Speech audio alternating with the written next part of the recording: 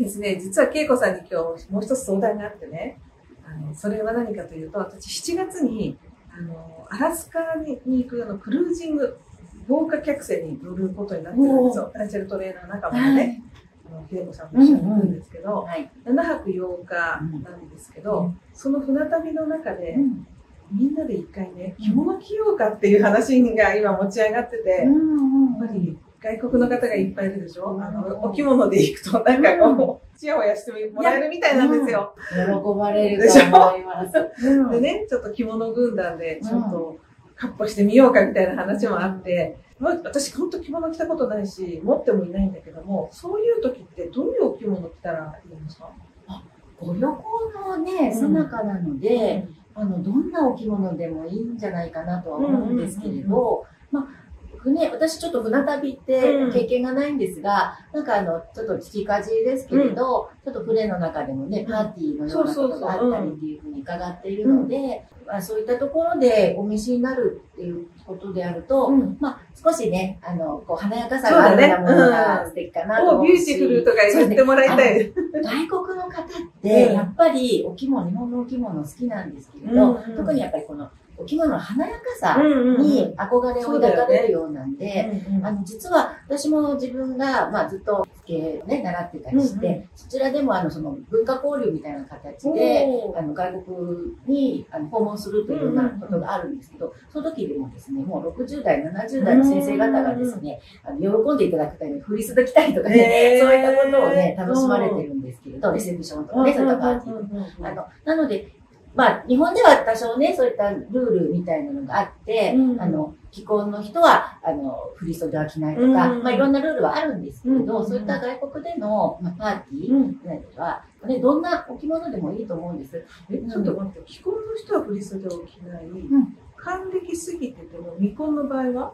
あ、未婚の方は、着えーて。いや、えっ、と、うちはですね、そこがちょっと日本の人の奥深しさがあって、基本的には着ちゃいけないわけじゃないと思うんですよ。うんうんうん。未婚の方の第一礼装って、うんあの、振り袖なんですね。うんうんただ、やっぱりその、どうしても日本の方って奥ゆかしくて、そういう年齢のこととかも考えられるので、結構あの、未婚の方で、うん。あの、大人の方は、もしそういったあの、フォーマルな場を、するにしても、色留め袖とか、ちょっとさすがにお袖は長くないものでうん、ちょっと落ち着いた感じの色柄のものをお召しになったりっていうことが。まあ、あの、おすすめはされているんですけれど、でも、そういったパーティーとかだと、うん。特別ね、そういったルールも気にせずに、何をお召しになってもいいと思うんですけど、うんまあ、そういったあの大人の方でも、どちらかというとやっぱり華やかめな色柄のものとかをおお召しになってると、まあ、外国の方がね、ものすごく喜んでくださるように。あの、振り袖着たいとまでは思ってないんですけど、うんやっぱりちょっとね、華やかそな、ね。明るいものを着てみたいなっていう思いがあるんですけど、うん恵子さんに見立ててもらいたいなって思ってるんですけど。あの、今日ですね、うん。実はせっかくこういった機会なので、久々さんにね、お着物も着て、ぜひね、着て楽しんでもらおうかなと思って、まあ、私の手持ちのものはね、ちょっと華やかなようなものではないんですけれど、持ってきてくれた？はい、お着物ね、いくつか持ってきてるので、もしよかったら、あ、着せてもらえますはい。あぜひぜひ楽しんでいただけたらありがとうございます。はい。じゃあちょっと早速着させていただこうと思います。はい。はい、ということで、ちょっと着物着せていただいたんですけど、いかが、いかがですか？っていうか私自分が見えてないんですけれどもね。お似合いです。あ、本当ですか？ここにね、ブルーが入ってるのがちょっといいなと思ってはい。るんですけど。あの、千田さんのお好きな色かなと思って、ちょうど手持ちにあったので、ブルーの帯揚げをね、あのこちらにポ ワンポイントで入れてみました。えーはいやっぱりこう自然と座り姿勢もうん、こう良くなりますね。背筋が伸びますね、そうですね。帯をして、うん。なんとなくこう、シュッと背筋が伸びる。伸びる。本当だね。あと足もね、大股では歩けないから、ちょっとこそうでう、すね。自然というかになるようなはい。ところがありますね。うんそうですか。こういう感じなんだ。これでランチを食べるとか、ちょっとなんか緊張するな、なんか。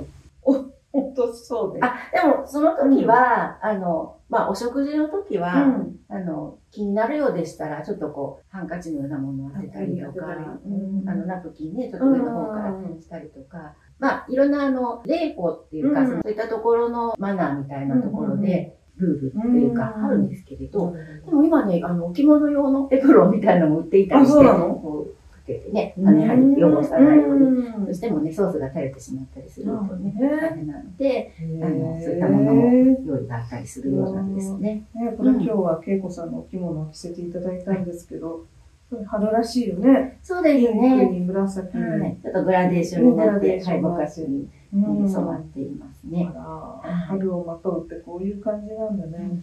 そうなんつったこう肌触りもね、うん。直接肌に触れてるわけじゃないけど、はい。そうですね。あの、着物って、やっぱりあの、日本の女性、まあ、日本の女性だけじゃなくて、うん外国の方でもね、お好きな方いらっしゃるんですけれど、ぱりあの、五感を結構刺激してくれるものだと私は思っていて、はい。うん。色柄ですね。こう目にした時の色柄うも華やかさがあったり、あとはあの、肌に触れる感じもいろいろありますし、うん。あとはあの、金ずれの音と言って歩いた時の、金ずれの音。はい音だったりうんやっぱりそうしていろんな、あの、刺激をね、与えてくれるので、うんとてもやっぱり、あの、テンションが上がると言いますか。そうだね。すごくいいです。ね。気分が上がる、やっぱりアイテムかなとは思います。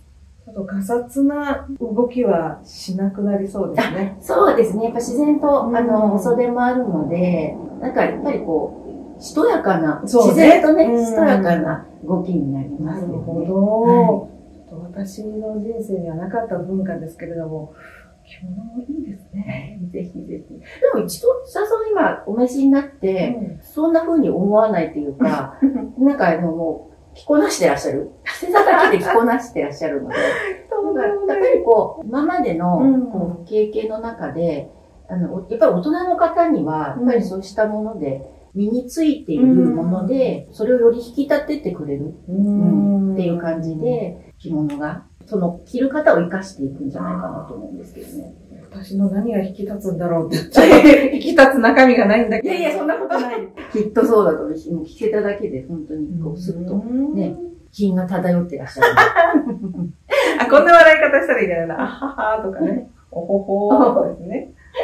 そうですか。いや、今回はね、恵子さんに思いがけず着物の断捨離について相談したところから、私も着物を着せてもらうという、こんなね、ラッキーなことなまでだったんですけれども。いや、いい体験させていただきました。アラスカクルーズの、うんうんちょっとその着物はい。イメージが、ちょっと湧いてきますかね。ね。湧いてきましたね。ああ、たくさんは食べれないんだなっていうね。あの、これもね、慣れで、うんだ私も最初あの着物を習い始めた時に、いや、とても、これは毎日帯をしていたら痩せれるのかなと思っていたのですが、あの人間の体は順応性が高く、帯をしていてもしっかりとコース料理をいただけるようになっておりますので。そうですかはいいや、とますます、あの、楽しみになりました。うん。